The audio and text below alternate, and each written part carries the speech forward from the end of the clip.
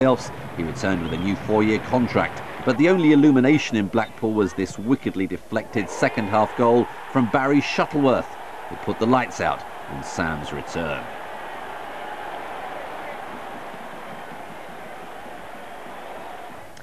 And elsewhere, a goalless draw.